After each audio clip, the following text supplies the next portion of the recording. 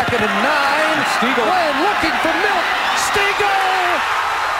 Number 135. He's two away.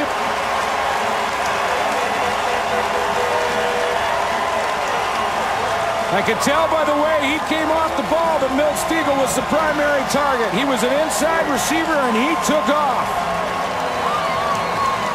All Kevin Glenn needed was some time and the ability to get outside. If he got outside, he had a chance.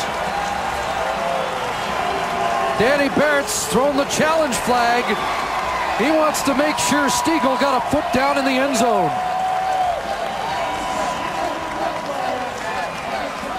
Well, he's got both, and the first one is, is technically a freebie for Danny Barrett. And he's trying to break his slump. He's 0 for 5 in video challenges.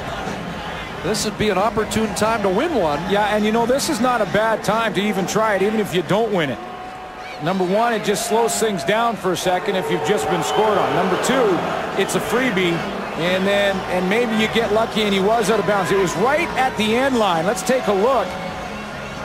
First of all, Glenn has to get outside. He does that on Jereniak. Now, now he's going to throw it up and over the top. Now with Stegall in bounds.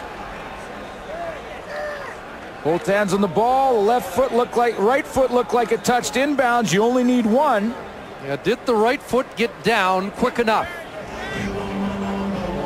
Tough to tell from that angle. That first left- angle showed it pretty well. Clearly the left foot's out, but the right foot first to make contact. Here's another one. This might be even better. Well, that's hard to tell again when that right foot, but the right foot did touch first when he had the football. And here's here's the best look. And from this angle, it looks like the hold right it. does get down. Hold it right now, guys. He's in. There you go. And it looks like that foot is in bounds. And he has control of the ball. But you're right, a good challenge. After review, there is no undisputed evidence that the ball was caught out of bounds. Yeah. Not a bad challenge, but